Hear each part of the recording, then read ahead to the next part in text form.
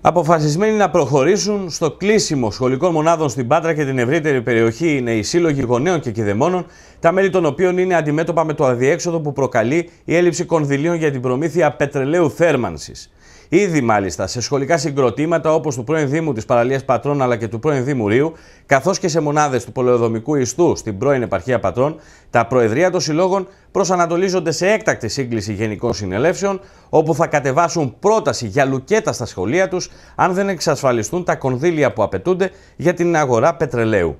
Μέλη των συλλόγων γονέων και κηδεμόνων σε σχολεία της περιοχής επισημαίνουν ότι δεν πρόκειται να μπουν στη διαδικασία ανέβρεσης χορηγών, κάτι που τόσο πολύ φοριέται τελευταία, προκειμένου να εξασφαλίσουν τη θέρμανση των παιδιών τους, κάτι που αποτελεί θεμελιώδη υποχρέωση της πολιτείας. Οι πρώτες συνελεύσεις στα σχολεία της Παραλίας αλλά και του πρώην Δημουρίου έχουν ήδη προγραμματιστεί για την προσεχή Παρασκευή.